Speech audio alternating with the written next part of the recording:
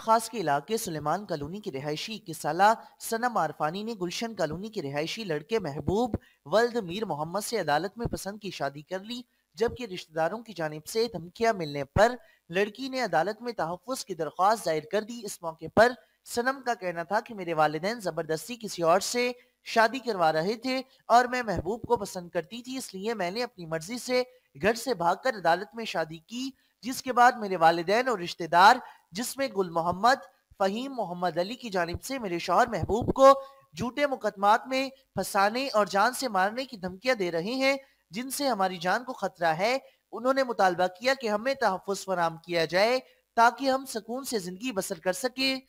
Camera team के साथ Sharif Mahar H N N news, Mirpur Khas.